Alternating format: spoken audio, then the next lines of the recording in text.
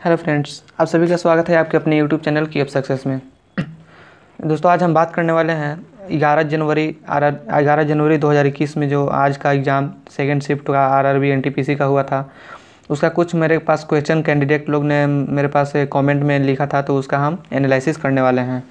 तो आइए अब देखते हैं कि कौन कौन सा क्वेश्चन आया था, ठीक है, और उसका आंसर क्या होगा। हंड्रेड परसेंट यहाँ पर सटीक आंसर मिलना चाहिए, ठीक है? और ये सारा का सारा क्वेश्चन आया था। तो चलिए हम स्टार्ट करते हैं। पहला क्वेश्चन देखिए, आया था कि इंदिरा गांधी तुलिप पार्क कहाँ है?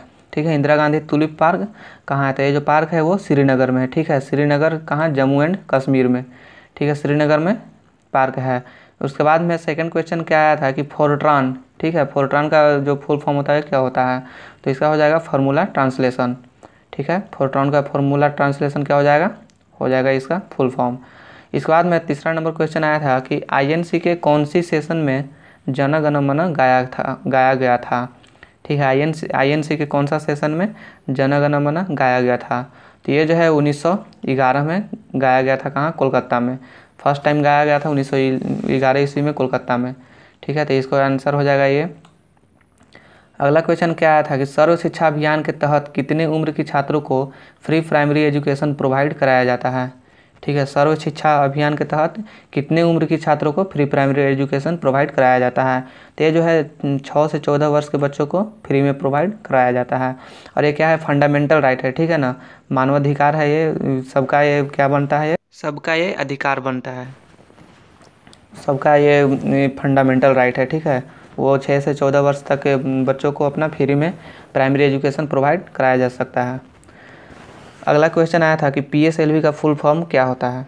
ठीक है पी एस एल वी का फुल फॉर्म क्या होता है? तो इसका फुल फॉर्म हो जाएगा पोलर सेटेलाइट ठीक है पोलर सेटेलाइट लॉन्च व्हीकल ठीक है पोलर सेटेलाइट लॉन्च व्हीकल इसके बाद में कुछ क्वेश्चन आए थे फ़र्स्ट फाइव ईयर प्लान के प्लान से, ठीक है ना? फ़र्स्ट फाइव ईयर प्लान से क्वेश्चन आए थे, लेकिन मुझे ये एक्चुअली ये मालूम नहीं है कि मतलब कि इस क्वेश्चन में कौन सा क्वेश्चन आया था फाइव ईयर प्लान से। तो अगर कोई भी कैंडिडेट को पता हो तो कमेंट बॉक्स में उस क्वेश्चन को लिखें और मैं उसको बता दूँगा आंसर ठीक है?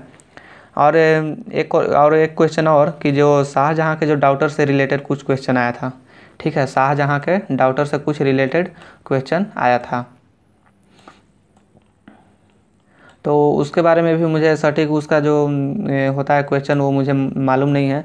तो किसी को भी अगर जो भी कैंडिडेट को मालूम होगा, अगर वो क्वेश्चन याद होगा तो वो मुझे कमेंट बॉक्स में बताइएगा, ठीक है? और यहाँ पे बात करते हैं मैथ में कि अगर ट्रिगोनोमेट्री को तो मात्र सेकंड शिफ्ट में ट्रिगोनोमेट्री का सिर्फ़ एक ही प्रश्न देखने को मिला, ठीक है? ट्रिगोनोमेट्री का सिर्फ़ ओनली वन ही प्रश्न देखने को मिला था। इसके बाद में जो डीआई का जो लेवल होता है ना, वो थोड़ा सा मतलब बोल सकते हैं टफ था, ठीक है ना? डी का डीआई का लेवल थोड़ा सा बहुत ज़्यादा टफ था, ठीक है? उसमें टाइम टेकिंग ज़्यादा था उसमें, ये मानना पड़ेगा।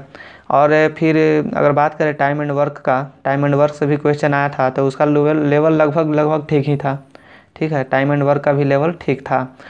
और कोडिंग और डिकोडिंग की अगर बात करते हैं तो कोडिंग और डिकोडिंग का ज़्यादा क्वेश्चन आया है, ठीक है?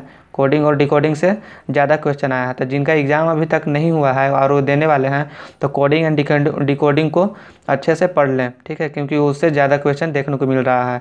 और इसी बाद सिलोगिज्म का बात करें तो सिलोगिज्म से भी दो तीन क्वेश्चन आए हैं, ठीक है? सिलोगिज्म से भी दो तीन क्वेश्चन आए हैं, देखने को मिला है दो तीन क्वेश्चन सिलोगिज्म से। तो अगर किसी भी कैंडिडेट को अगर मालूम हो सिलोगिज्म या फिर कोडिंग डिकोडिंग का कुछ क्वेश्चन तो कमेंट बॉक्स में आप लोग बताइए। इसके बाद में देखिए, अगला क्या आया था क्वेश्चन कि where is head quarter of W H O ठीक है डब्ल्यू एच ओ का फुल फॉर्म पहले क्या होता है? और डब्ल्यू एच ओ का फुल फॉर्म क्या होगा? World health world health organisation ठीक है डब्ल्यू एच ओ का फुल फॉर्म क्या होता है? वर्ल्ड हेल्थ ऑर्गेनाइजेशन जो वर्ल्ड हेल्थ ऑर्गेनाइजेशन का जो हेड क्वार्टर है, वो कहाँ है? जिनीवा में, यानी स्विट्जरलैंड में। ठीक है जिनीवा में है स्विट्जरलैंड में। और ये कब पाया गया था? कब बनाया गया था इसका? तो उन्नीस सौ अड़तालीस ईस्वी में। ठीक है, उन्नीस सौ अड़तालीस ईस्वी में इसे बनाया गया था। अगला क्वेश्चन नेक्स्ट क्वेश्चन आया था कि भीटी कल्चर किससे एसोसिएटेड है? ठीक है, भीटी कल, भीटी भीटी कल्चर जो है वो किससे संबंधित है? तो इसका आंसर हो जाएगा क्या? हार्वेस्टिंग ऑफ़ ग्रॉप ग्रैप्स से। ठीक है, भीटी कल्चर किससे संबंधित है? हार्वेस्टिंग ऑफ़ ग्रैप्स से संबंधित है। इसके बाद में एक आया था वर्ड ऑड वन आउट करने के लिए। ठीक है रीजनिंग था एक क्वेश्चन रीजनिंग का था। ऑड वन आउट इसमें मतलब चूज़ करना था कि कौन सा इसमें ऑड है। ठीक है तो इसमें देखिए ऑप्शन दिया गया था, पहला ऑप्शन था डॉग इसके बाद था गॉट और इसके बाद था काऊ और सीप ठीक है? तो अगर डॉग की बात करें तो डॉग की जो दूध हम लोग का यूज़ में नहीं आता, ठीक है?